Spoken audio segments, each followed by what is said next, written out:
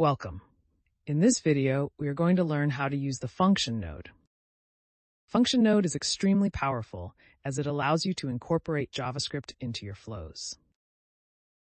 Let's begin by building a simple flow that uses the OpenAI package.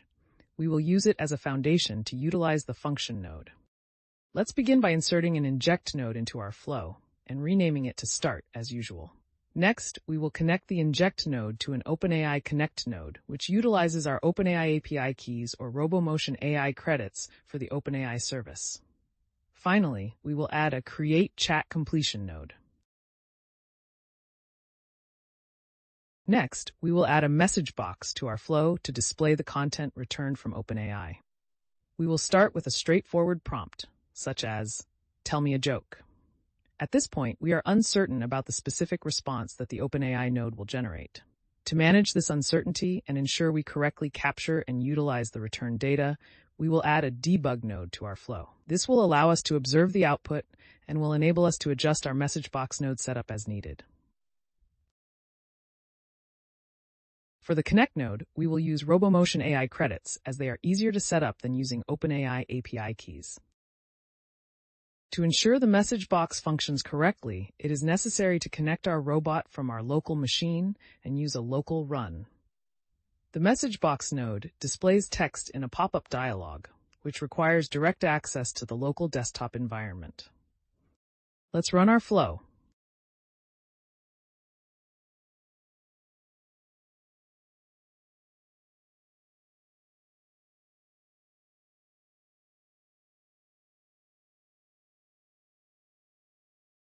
The message box did not display any useful content because the input properties of the node were not configured. To resolve this, we should first examine the response returned by the OpenAI node, since this holds the data we want to display. Understanding the structure and content of this response will allow us to accurately set up the input properties of the message box node. Let's start with our message box title and use joke of the day. For the text part, we will use the message object that holds the return data from OpenAI. Message object is no more than a JSON object that is passed between the flow nodes. Let's try to get the correct JSON path here from the debug output and fill the text content from the returned response. Here you can see the completion inside the message object. Click OK to use this JSON path, and then let's run our flow again. This time we should see the returned content.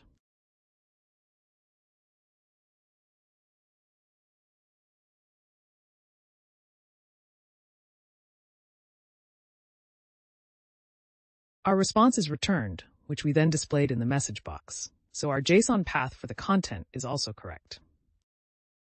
Now what if we want to create a dynamic prompt within the flow? So initially we used a static string here that reads, tell me a joke. But what if you wanted to use prompts like, tell me a joke about bicycles or tell me a joke about food? We can't update our flow every time we ask for a different joke. To achieve this flexibility in our prompts, we can utilize the function node. Let's start by adding a function node to our flow and connect its output to the create chat completion node.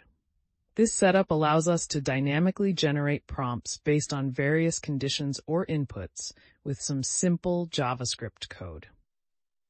When you double-click on the function node, it will open the JavaScript editor where you can write custom scripts. This is for simple scripts using pure JavaScript. It does not support libraries or complex code structures.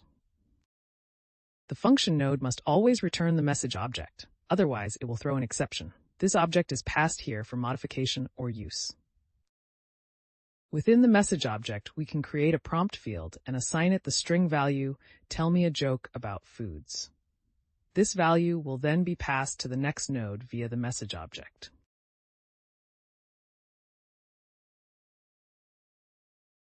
Let's save and close the function editor and move on to the Create Chat Completion node properties. Now that the message object contains our prompt, which has been passed from the function node to the create chat completion node, we can use it to dynamically set our prompt property. Currently, the prompt is a custom string. Now, if we want to retrieve the value from our message object, clicking this button will open a list of possible sources from which we can take the value. Select the Message option. Enter the field name that we have added to the message object, prompt, and rerun the flow.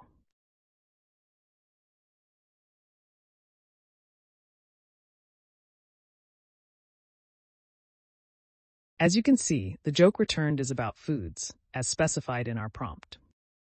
We have created a prompt in a function node, passed it to the create chat completion node via message object, and it returned the result. The prompt in the function node was static. We can now make our flow more dynamic by allowing users to input the joke topic in an input box. Let's choose a title for our input box to guide users more effectively. We could use something like, ask me a joke about any topic. We will enter this to the title property of the input box node. Let's choose Write a Topic as the label for the text field of the input box. The user's input entered will be saved into the text property of the message object. Let's put a debug node here to check the entered text. After the input box execution is completed, the debug node should display message object containing the entered value.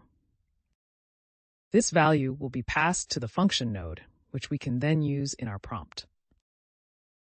We can simply perform string concatenation here by appending string values using a plus sign. Alternatively, you can use JavaScript template literals with backtick operators, which allow you to embed variables directly within the string using the dollar symbol and curly braces. This can significantly improve readability, especially when constructing multi-line prompts. Let's now run our flow to see the results. This time, when the flow runs, we should see an input box waiting for a topic to be entered. Now here, let's enter cars as the topic, and then press the OK button for the flow to continue. This time our joke is about cars. The first debug node outputs the message object, and we can see that the text property correctly contains the entered value, cars. The function node is powerful for manipulating the message object. You can use any JavaScript code here to dynamically create and return content. Thank you for watching.